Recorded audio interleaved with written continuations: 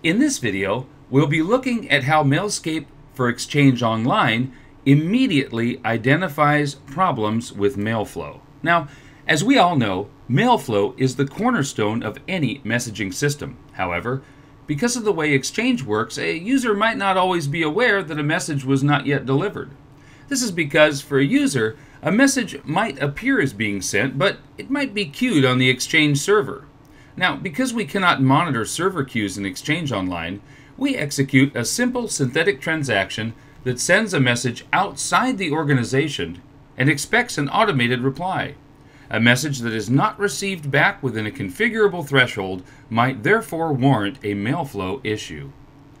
Now, here we see Mailscape for Exchange Online is identifying a problem with MailFlow. So we're going to click through here.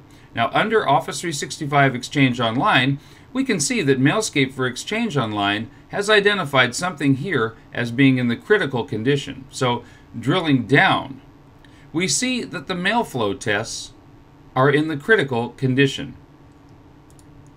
Down a level further, we can see that Mailscape for Exchange Online is testing both Cloud mail flow, messages sent from Exchange Online to the Internet, and also Hybrid MailFlow, messages sent from the on-premise environment to the Internet and back again.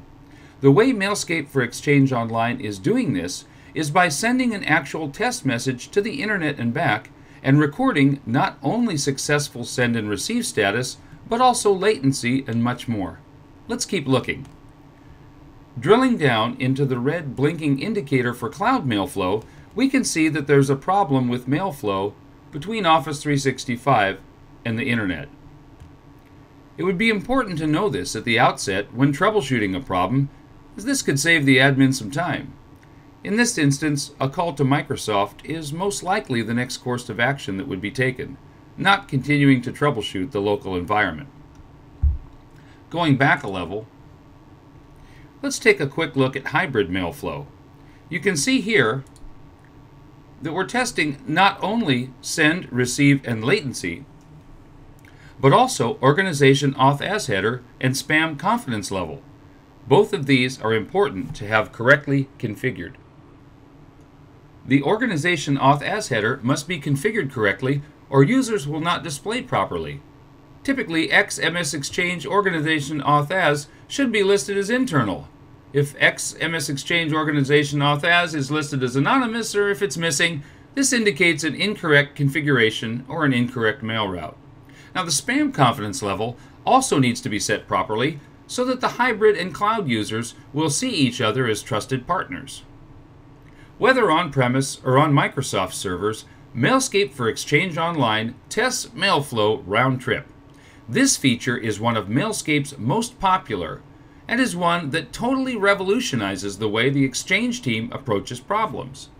You see, typically, a user or group of users experience a problem, then the users call the help desk with generic, non-technical summaries like, it's not working, and everything is broken.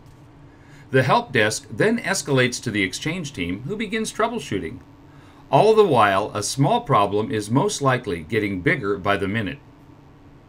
Contrast that with having Mailscape with its one-look dashboard and alerts.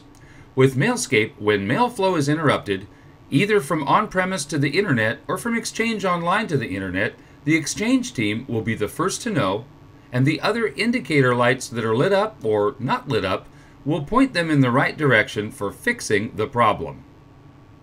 With Mailscape's external mail flow test in place, the busy Exchange administrator doesn't have to worry about hearing about problems from end users anymore.